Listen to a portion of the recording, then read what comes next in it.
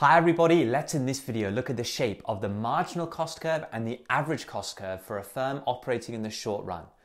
The shape of these curves is due to the law of diminishing marginal returns. So to help us, I've put the table that we used in the very first video in this playlist on the board where we illustrated the law of diminishing returns. And what we can see clearly from total product, marginal product, and average product is the law of diminishing returns. All these figures are rising initially when we employ more people, when we employ more workers, and then the figures start to fall when diminishing returns start to set in here. What I've done though now is I've extended this table to include total cost, marginal cost, and average cost. A couple of things we need to know first. If total costs are 10 when nothing is being produced, that means there are 10 pounds worth of fixed costs that always have to be paid, regardless of the level of output being produced. And we're also going to assume that workers are paid an hourly wage of 10 pounds. So that explains all the numbers in the total cost column here and why each time we're adding 10. We always have 10 pounds worth of fixed costs and then we have 10 pounds more in terms of wage whenever we employ one more worker here. So that's fine. What about average cost and marginal cost? We need the equations first. The equation for average cost is total cost divided by quantity, or we could use average fixed cost plus average variable cost. In this case, I'm going to use this first equation because that's the data we have. And if we do total cost divided by Q for all these figures, we get the numbers on the right hand side. I've done those already. You can work them out on your own. Simple stuff. Happy days.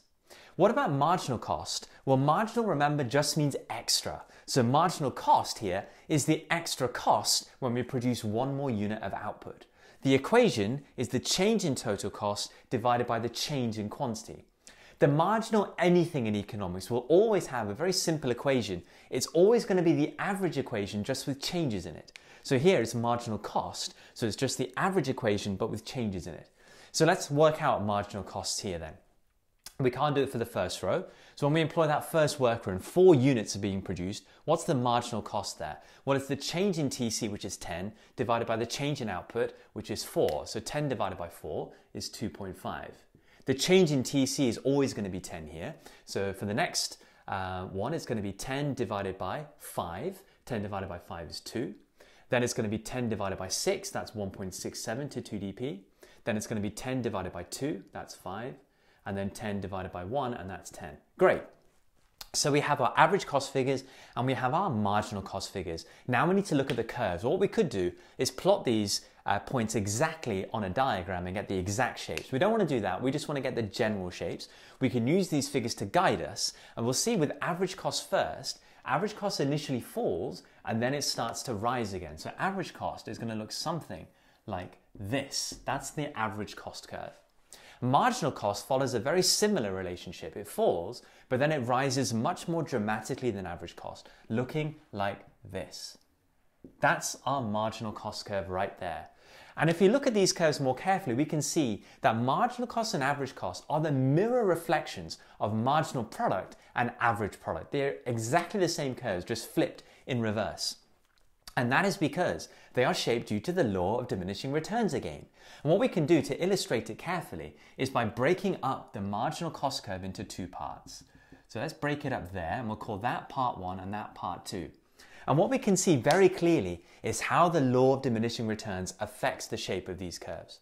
So in stage one, we can see that there is increasing labor productivity, there is increasing marginal product. Remember the reasons why? One reason was specialization between workers. The other reason was underutilization of fixed factors of production. As a result, labor productivity increases, marginal product increases, and we can see very clearly as a result that marginal product, marginal cost will decrease in this case. And it's very clearly clear from our numbers that this works. Marginal product is rising, rising, rising there, and with that, marginal cost is falling due to higher labor productivity. Higher marginal product is going to decrease marginal cost. But then the law of diminishing returns kick in, and they kick in at this point. We start seeing diminishing returns from here.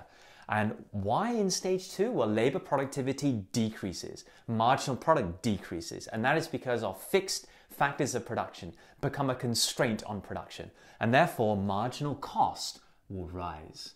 And we see it here. So we can see as marginal product decreases, marginal cost increases our fixed factors of production become a constraint on production. So that explains the shape of the marginal cost curve, the average cost curve. Also, we can use uh, the same kind of logic, but marginal cost is what you want to break up here to really illustrate the law of diminishing returns and why this curve is shaped the way it is. So now you've got marginal cost and average cost to add to your portfolio of different cost curves in the short run. Uh, thank you so much for watching, guys. Hopefully, this really makes sense now. I'll see you all in the next very important video.